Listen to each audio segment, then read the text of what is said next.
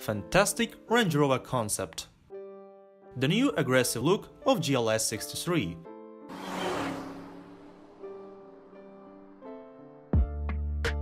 The market for sedans may no longer be what it was a decade ago, but there remain a number of compelling models out there, especially in the growing luxury and EV markets.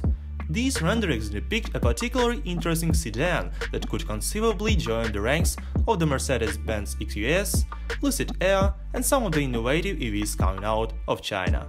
This striking concept is known as a Range Rover Vision Travel and comes from the mind of Grimaud Gervex, a professional designer who works for a famous car maker specializing in EVs.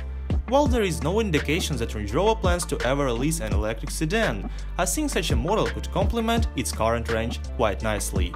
In creating the concept, Gervex crafted a long and low-slung body that may make the car a little hard to park, but would certainly result in a hugely spacious interior and make the vehicle feel like a private jet on wheels. While its shape is unlike anything that Range Rover has or will likely ever produce, it is still identifiable as a model from the British brand, thanks to a number of noteworthy design details. For example, the front of the Vision Travel concept has a full-width LED light bar, sitting just below the large Range Rover badge. It gives the car a futuristic look and looks a bit like a Robocop helmet. The concept also lacks the traditional front grille, instead featuring a small slot under the light bar and a larger grille at the bottom of the bumper, which I think sets this car apart from its predecessors and fits in very well with current design trends.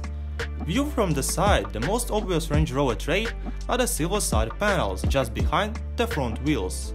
In addition, we cannot see the door handles, allowing us to assume that this concept car uses a new door opening system, and maybe it will be touch sensors.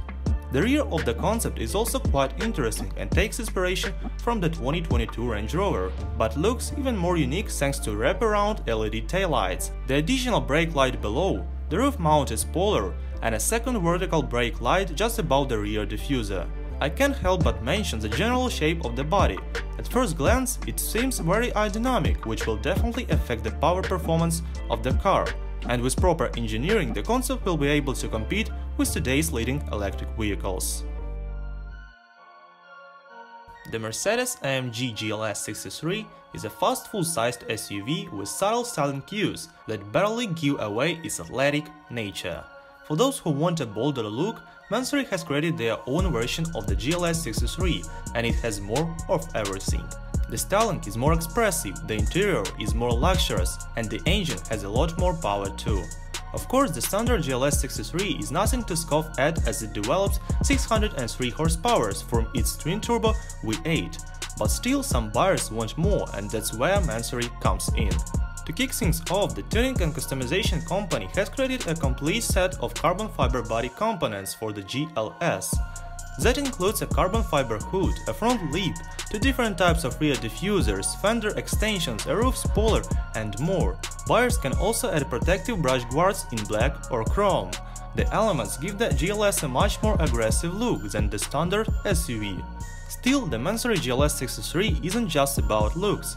Power packages start on the low end with the P720 option, which includes software tuning that results in 710 horsepower and 1000 Nm of torque. That's a substantial increase, but it's somewhat overshadowed by the P85NIL package, which includes upgraded turbochargers, a sport exhaust system, a new downpipe and a new air filter. The total output for the P85NIL package is 838 horsepower, and 1100 Nm of torque. Customization doesn't stop there and Mansory will provide whatever mixed special materials inlays a customer might want. Velour or leather floor mats and trunk mats are also customizable and there are 9 different wheel designs to choose from. Well guys, that's all I have for today. I hope this video wasn't boring and you've enjoyed during watching. Subscribe to the channel to stay up to date with all automotive events. I wish you a good mood and see you soon. Bye.